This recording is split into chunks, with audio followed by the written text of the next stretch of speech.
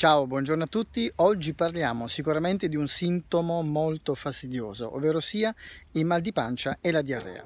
Allora, intanto bisogna dire che la diarrea di per sé non è una vera malattia, ma il sintomo in realtà di un altro disturbo. Se accompagnata da febbre, da nausea e da vomito, se si prolunga ad esempio per più di due giorni, oppure in presenza di sangue nelle feci, occorre consultare immediatamente un medico. Il sintomo principale qual è? È la frequente eliminazione di questo materiale intestinale che è stato acquisito attraverso chiaramente l'alimentazione e non formato.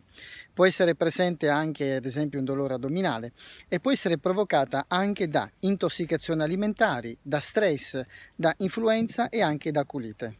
Vediamo insieme quali sono i rimedi che possiamo utilizzare. In caso di, di diarrea sicuramente l'estratto di pompelmo lo possiamo assumere in questa maniera. 5 gocce in un po' d'acqua per 3 volte al giorno.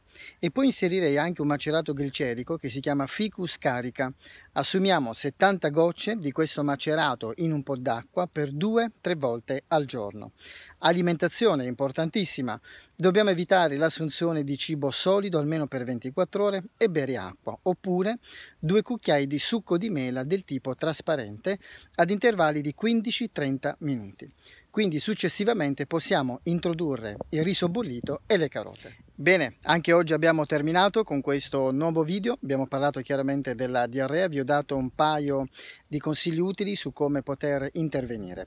Vi auguro una serena e splendida giornata, se ti è piaciuto questo video metti un like, condividilo con i tuoi amici, noi ci vediamo prossimamente con un nuovo video legato sempre al pronto soccorso naturale. Un caro saluto da Rudy.